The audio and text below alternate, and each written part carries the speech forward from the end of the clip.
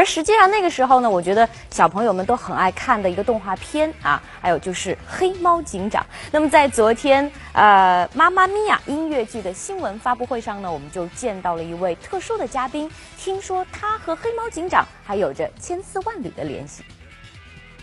因为有很多新的东西会带给大家，我就觉得我也很期待能够在在北京和大家再一次见面，希望大家进剧场来感受。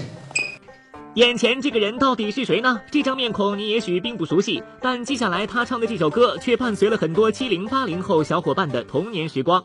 眼睛睁得像铜铃，伸出闪电般的机灵，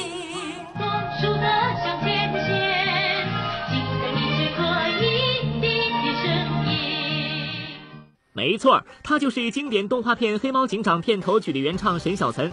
八十年代初，原本在建筑工地做水泥工的沈小岑，因演唱了一首印尼流行歌曲《哎呦妈妈》，从一个路人甲一跃成为了当红歌星。而后，他又演唱了很多传唱一时的经典歌曲。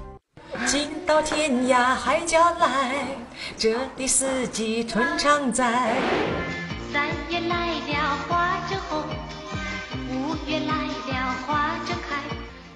当事业巅峰时，沈小岑悄然隐退，远嫁英国。这次复出加盟《妈妈咪呀》，沈小岑在剧中也饰演了一位母亲。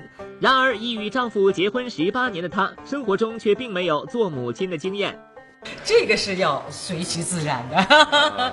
我和我先生两个人都是都是非常非常的在这个问题上非常的随意，真的是